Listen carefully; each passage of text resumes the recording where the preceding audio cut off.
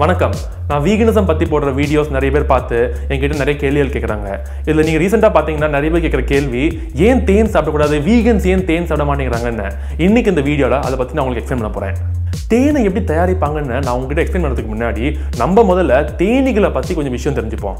ஒரு தேனி காலனியில் மூணு வகையான தேனிகள் இருக்குது ஒரு ராணி தேனி சில ஆண் தேனிகள் அப்புறம் நிறைய வேலைக்கார பெண் தேனிகள் நீங்க பாத்தீங்கன்னா இதுல ராணி தேனியோட ஒரே வேலை முட்டையிடுறது மட்டும்தான். ஒவ்வொரு காலனிலையும் கட்டாயமா ஒரு ராணி தேனி இருக்கும். அப்படி ஒருவேளை அந்த ராணி தேனி இறந்து போயிடுச்சுன்னா அந்த வேலைக்காரி தேனிகள் ஒரு புது ராணி தேனியை உருவாக்கும். அது நீங்க எப்படின்னா பாத்தீங்கன்னா முட்டையிலேருந்து புரிஞ்ச புழு மாதிரி இருக்கிற லார்வாக்கு ராயல் ஜெல்லியை ஊட்டி ஊட்டி அது இனப்பெருக்கம் சில தன்மை அது கொடுக்கும். அந்த ராணி தேனி ஒரு குறிப்பிட்ட வயசுக்கு வந்த பிறகு எல்லா ஆண் தேனிகளும் அதுக்கு உரம் ஊட்டும். அதுக்கப்புறத்துலேருந்து அந்த ராணி தேனி அதோட வாழ்க்கை முழுவதும் முட்டையிட்டே இருக்கும். இந்த எல்லா முட்டை முட்டையிலேருந்தும் வேலைக்கார தேனீகள் உருவாகும். வேலைக்கார தேனீகள் இனப்பெருக்கத்தை தவிர அந்த காலநிலை உள்ள மிச்ச எல்லா வேலையும் செய்யும். அவங்க வந்து தொகையில் ஜாஸ்தியாக இருக்கிறதுனால தன்னோட வயசை பொறுத்து அவங்களுக்குள்ளேயே அவங்க என்ன வேலை செய்யணும்னா கரெக்டாக பிரிச்சுப்பாங்க. சிலது கூட்டை பத்திரமா பாதுகாக்கும் சிலது வந்து கூட்டை கட்டும். சில தேனீகள் வந்து இந்த புதுசாக புரிஞ்ச லார்வா பத்திரமா பார்த்துக்கும் சிலது ராணியை பார்த்துக்கும் சில தேனீகள் வெளியே போயிட்டு நெக்டர் எடுத்து வரும் சிலது தண்ணி எடுத்து வரும். இந்த மாதிரி நிறைய வகையான வேலைகளை இந்த வேலைக்கார தேனீகள் செய்யும். வேலைக்கார தேனீகள் பெண் இனமா இருந்தா கூட அதால கருவூற்ற முட்டையை இட முடியாது. ஆண் தேனீகள் அந்த காலனியில் ரொம்ப கம்மியாக தான் இருக்கும். ராணி தேனீக்கு கருவுரை செய்வது தான் அந்த ஆண் தேனீகளோட ஒரே வேலை. ராணி தேனீக்கு உருமூட்டின பிறகு அந்த ஆண் தேனீகள் எல்லாம் இறந்து போயிடும். இது நீங்களே பார்த்துருப்பீங்க. தேனீகள் கட்டுற கூடு வந்துட்டு செல் எல்லாம் இருக்கும். இதுக்குள்ளே தான் தேனீகள் அதோட லார்வா மகரந்தம் அப்புறம் தேனையும் சேர்த்து வைக்கும். பொதுவாக நம்ம நினைப்போம் தேனீகள் வந்து பூக்கள்லேருந்து தேனை உறிஞ்சு அதோட கூட்டில் சேர்த்து வைக்கிறதுன்னு. ஆனால் இது ரொம்ப தப்பு. நீங்கள் பார்த்தீங்கன்னா தேனீகள் வந்து பூலேருந்து இந்த உரிகிற பானத்துக்கு பேர் நெக்டர்.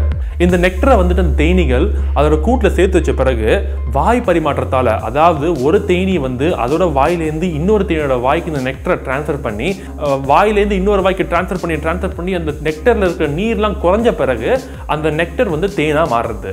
ஸோ இதுலேருந்து ப்ளீஸ் நீங்கள் பார்த்து புரிஞ்சுக்கோங்க. நீங்கள் நல்லா ரசித்து சாப்பிட்ற தேன்கிறது என்னது? ஒரு தேனி அதில் வாய் எச்சிலேருந்து உள்ள நெக்டரை உறிஞ்சு அடி வயிற்றுலேருந்து வெளியே வாந்தி எடுக்கிறதுக்கு பேர் தான் தேன்.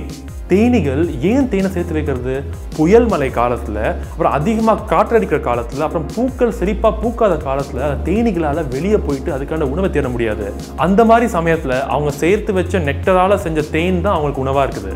தேன் வியாபாரம் பண்ணுறவங்க தேனீகளை வந்து பெட்டிக்குள்ளே அடைச்சி வைக்கிறதுனால தேனீகள் அந்த பெட்டிக்குள்ளேயே மெழுகு அறைகளை கட்ட ஆரம்பிச்சிடும் இப்போ ஒவ்வொரு வாட்டியும் மனிதர்கள் இந்த பெட்டியை தொடரும்போது இல்லை அந்த அடைகளை வெளியே எடுக்கும்போது அந்த தேனீகளுக்கு பயங்கர பயம் வந்து மன அழுத்தம் வந்து அந்த தேனை வந்து உடனே சீக்கிரமாக குடிக்க ஆரம்பிச்சிடும் அப்புறம் ஒவ்வொரு தடவை மனிதர்கள் அதோட கூட்டிலேருந்து தேன் எடுத்த பிறகு தான் சேர்த்து வச்ச தேன் திருடி போச்சுன்னு தன்னோட உடலை வருத்தி திருப்பி திருப்பி அந்த பூக்களுக்கு பறந்து போயிட்டு அதுலேருந்து நெக்டரை உறிஞ்சிட்டு திருப்பி அதோட கூட்டில் தேனாக மாற்றி சேமிச்சு வைக்கிறது.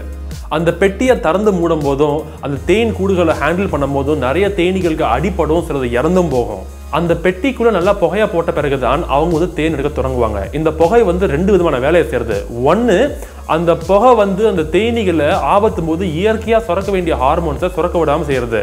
அதனால அந்த தேனீகளுக்கு ஒன்றுக்கு ஒன்று தகவலை பரிமாற முடியாமல் அதே சமயத்தில் அவங்களோட கூடையும் பாதுகாக்க முடியாமல் போகிறது ரெண்டாவது சுற்றி ஒரே புகையாக இருக்கிறதுனால அந்த தேனீகள் எல்லாமே ஒரு காட்டு தீ பரவுதுன்னு தப்பாக நினச்சி அவங்க சேமித்து வச்ச எல்லா தேனையும் சீக்கிரமாக உரிய ஆரம்பிக்கிறாங்க. ஏன்னா அந்த தேனை வச்சு தான் அவங்க உடலால் மெழுகு தயாரிக்க முடியும்.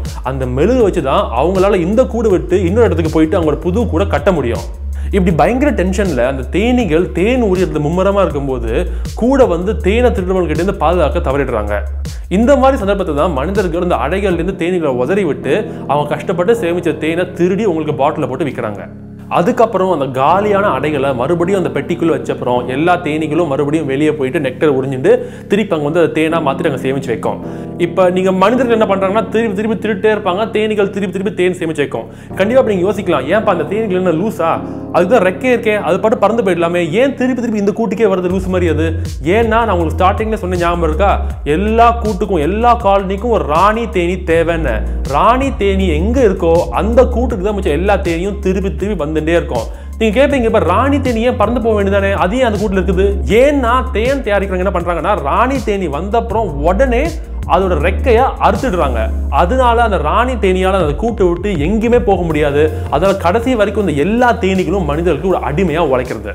இப்போ கண்டிப்பாக சில பேர் ஒரு கேள்வி கேட்பாங்க. சரிப்பா நான் ரோட்டில் நடந்து போயிட்டு இருக்கேன். அப்போ ஒரு தேனி எனக்கு கொட்ட வருது. அந்த நேரத்தில் நான் ஒரு வீகனாக மாறிடுறேன். தேனி கிட்ட நான் கொட்டு வாங்கட்டுமான்னு. நல்லா புரிஞ்சுக்கோங்க.